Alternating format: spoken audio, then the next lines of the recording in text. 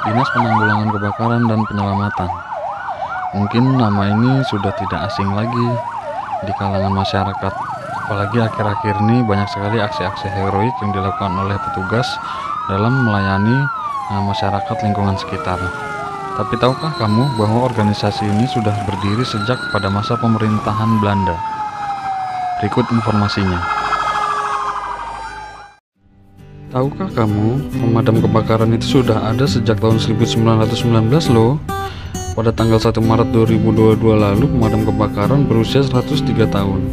Dan ini merupakan bukti otentik berdirinya pemadam kebakaran di Batavia, yaitu prasasti tanda penghargaan Brandweer Batavia. Prasasti tanda peringatan Brandweer Batavia ini merupakan bentuk penghargaan yang diberikan kepada Brandweer Batavia atas dedikasinya menjaga kota Batavia dari bahaya kebakaran pada saat itu. Prasasti ini juga ucapan terima kasih dan tanda girang yang diberikan oleh masyarakat Betawi Melayu atas adanya pemadam kebakaran pada saat itu.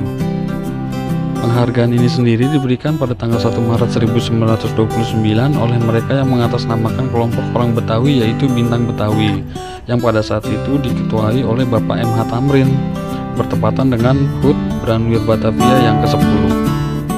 Nah, berikut uh, sejarah singkat mengenai pemadam kebakaran yang ada di Jakarta.